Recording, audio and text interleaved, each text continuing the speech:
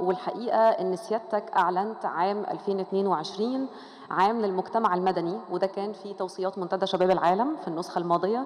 وهنا لازم أتوجه بالسؤال لدكتور نهى طلعت والحقيقة لازم أسألك عن دور المجتمع المدني هنا.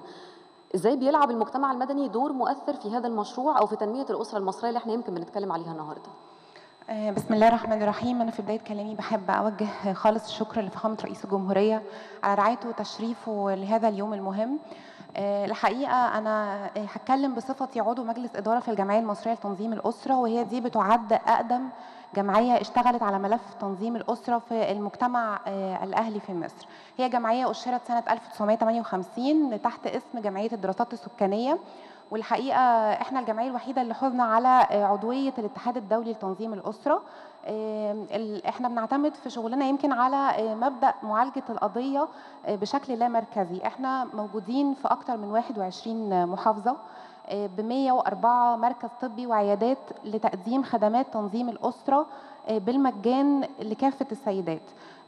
إحنا يمكن في تشكيل مجلس الإدارة الخاص بالجمعية بنراعي جدا تمثيل المرأة تمثيل مناسب بحيث إنه ما يقلش العدد عن 50% ونسبة الشباب ما تقلش عن 20% وده أتاح الحقيقة استدامة في نشاط الجمعية.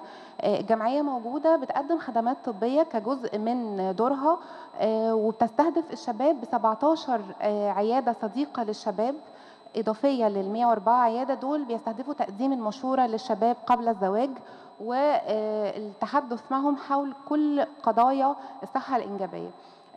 ده بالإضافة لوجود معهد تدريب لبحوث الصحة الإنجابية موجود في محافظة الإسكندرية. الحقيقة إحنا يعني عملنا من خلاله أكثر من 3000 تدريب بالتنسيق مع الحكومة والوزارات المختلفة والجهات الحكومية والغير حكومية. ده بالإضافة لبعض الهيئات الدولية. عملنا فيه يمكن 300 تدريب مع هيئات دولية وقمنا بتدريب الشباب الإفريقي على برامج الصحة الإنجابية وتنظيم الأسرة. وده طبعا لأن هي قارة أفريقيا يمكن بشكل عام بتعاني من مشكلة زي اللي مصر بتعاني منها وهي النمو السكاني الرهيب في معظم الدول.